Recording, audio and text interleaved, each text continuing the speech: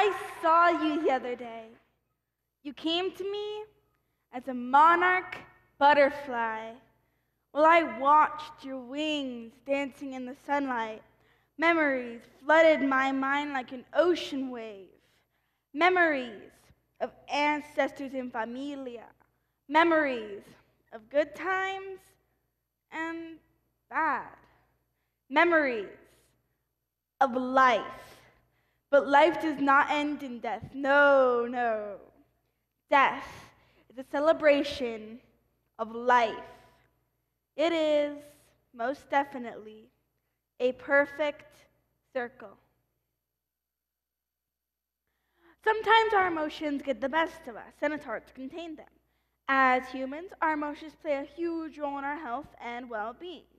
I have learned that through poetry, I can express my emotions in a positive way and hopefully help others in my community to do the same. When I express myself through my poetry, I am putting my emotions into words. Once I say those words, I no longer have to hold those emotions inside. They become part of something larger, they become part of our community. The poem I just recited is titled November. In that poem, I symbolize my feelings about life and the loss of loved ones into the image of a butterfly.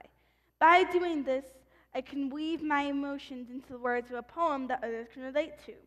I could share my feelings and help others who have felt the same.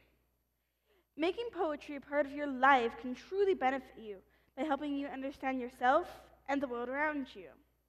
So, as I recite my last poem titled Poetic Life, I invite you pick up a pen and express yourself and your emotions through poetry. Poetry is the beauty of an ofrenda. Poetry is ugly, like children with empty stomachs. Poetry is self doubt. Poetry is a baby's tears. Poetry is the rain before the rainbow. Poetry is more than words. It is strong, sad, it hurts, and it is tough. Poetry is the bosque in the fall. Poetry is spray paint on burque walls. Poetry is the grief that follows death. Poetry is the health of mi familia.